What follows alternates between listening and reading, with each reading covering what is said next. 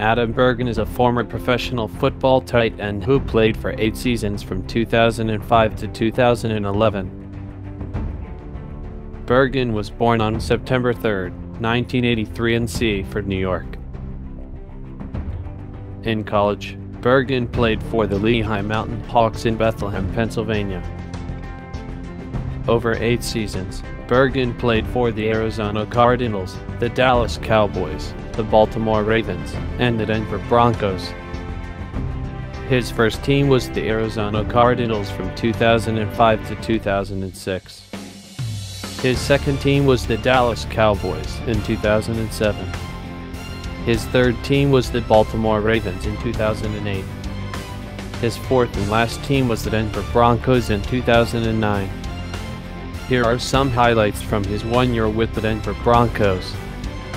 In 2009, he won the UFL Championship.